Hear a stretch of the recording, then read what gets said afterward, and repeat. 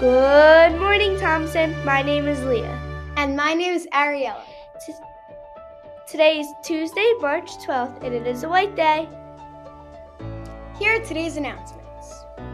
On this day in history, 1930, Mahatma Gandhi begins the Salt March in India.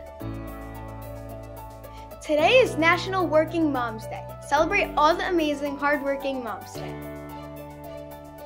HBT Herald is looking for sport reporters for our next issue of the Herald. If you're interested, we meet this afternoon in room 108.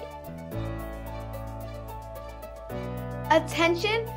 The 7th and 8th grade baseball coaches will be holding an informational meeting on Monday, March 18th in the cafeteria immediately after school. All players who plan on trying out must attend. If you cannot attend, you must provide a note to the coaches on the first day of tryouts, which will be Monday, March 25th.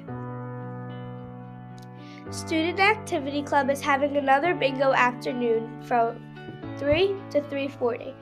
This is a free event open to all students. Snacks will be on sale and prizes are awarded. Don't miss a fun afternoon with friends. Quote of the day Ralph Marston said, What you do today can improve all of your tomorrow. Fun fact the Girl Scouts were founded over a hundred years ago. Joke of the day What song did the cat like the best? The Three Blind Mice. These are the only announcements we have today. Have a talented Tuesday.